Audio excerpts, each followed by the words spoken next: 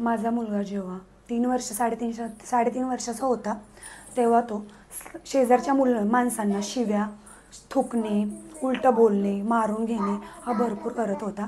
नंतर जोशी मॅडम ह्या होत्या डॉक्टर. त्यांच्याकडे आम्ही सजेस्ट केलं गेल की की मुलगा माझा असा असा वागतो हायपर होतो स्वतःला मारून घेतो.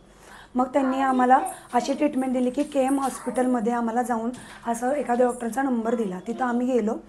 तिथं त्यांनी सांगितलं की ए डी एच डी असा त्याला एक त्रास आहे.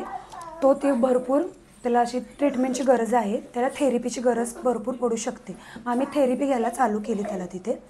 तर त्याला दोन महिने आम्ही थेरपी घेतली. त्याला तिथं फरक पडला नाही.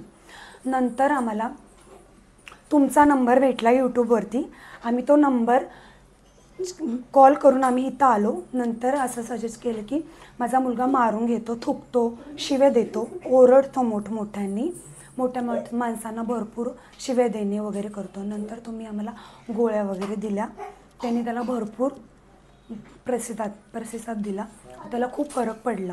तो आत्ता सध्या कोणालाही शिव्या देत नाही उलटं बोलत नाही. प्रत्येक गोष्टीला प्रतिसाद करत देतो. जेवणं खाणे उठणं बसणं त्याचं खूप चेंज झालेलं आहे. समज कशी पूर्वीपेक्षा आता? खूप भरपूर. हा. रस्त्याने जाताना सुद्धा तो ना मधून जात होता. तो आत्ता सध्या ना त्याला समजतं की कुठून जायचं कुठून नाही. तो कडनी चालतो. वाहनं जाताना घाबरतो की आपल्याला कुठून जायचं कुठून नाही. ते सगळं त्याला समजतं. समज भरपूर होती. भरपूर आहे. आता भरपूर. अभ्यासात कसा फरक आहे आता? अभ्यासात पण त्याला पहिलं येत नव्हतं. आता भरपूर अभ्यास करतो. त्याला समजतं भरपूर वगैरे. समजतं होतं आता. ठीक आहे. आणि आता शांत बसतो आता पूर्वीपेक्षा आता. खूप एका जागेला शांत बसतो समजा आपण एखादी गोष्ट त्याला सांगितली तो ऐकतो करतो. हा हा. अच्छा. बऱ्यापैकी चांगला फरक आहे. भरपूर आहे. मोठ्या माणसांचं सुद्धा जास्त ऐकायला लागलंय.